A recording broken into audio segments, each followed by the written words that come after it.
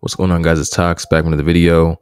Um, in today's video, we're going to be talking um, just about this these menus. Um, for some people, they're having you know a hard time setting up all their menus. I still get um, you know people asking about that. Um, even though in the in the installation videos, I kind of go over setting up the menus in general. Um, but if you're still having trouble, I decide just to make completely different video on just all the menus in Plain Jane alone, so you're not really missing out anything. Um, so before we get into it, you know, hit that like button, that subscribe button. Um, it really help. Um, you know, keep me motivated, keep making more content for you guys. Um, even past the tutorials and stuff like that. Uh, so let's just get straight into it. Um, so we have three menus in Plain Jane. We have their main menu here. Then you're gonna have your shop menu, which is here see on the side with the different categories. That's a whole different thing. And then we're going to have the footer menu, which is right here. So to set these up is pretty easy. We've tried to make it as simple as possible. Um, you're going to want to go to online store in the back end of your Shopify and scroll down to navigation.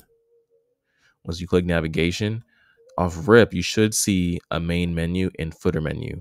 Um, it should be self-explanatory. This main menu is you know the main menu. So the, the very first page that you land on, that part controls these links. Okay, so if you add anything to these links here, just click on it real quick. If you add anything here, it'll show up in that main menu. Next, we have the footer menu. This this comes, you know, with any new Shopify store.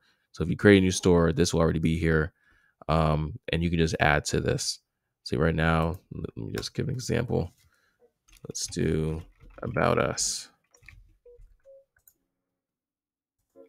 Pages about, link that guy in there, save, and then when we go back, if we refresh this page and look in the footer, we have the about us link now. So that's super, super simple.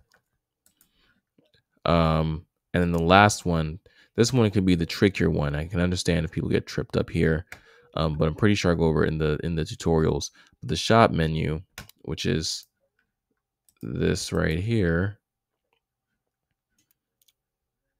there, and then even on mobile as well. Let's take a look at the mobile device. It'll be right here. Okay. Change that, you may not have this shop menu. So all you're gonna have to do is come up here and click add menu and then type menu just like that. Once you do that, hit save and start adding here. You'll you'll be able to control what's showing up in your shop menu. I already have one, so I'm not going to save this and you know confuse things. Um, but that's about it. It's very simple. That's about it, guys. Um, if you're still having difficulties, you know, you can always leave a comment below this video. Um, I'm going to try to keep posting, you know, videos every Tuesday and Thursday, um, specifically like tutorial type of content until, you know, most of everyone's questions and concerns about uh, Plain Jane Lite um, are answered. So uh, that's it for this one, guys. Peace.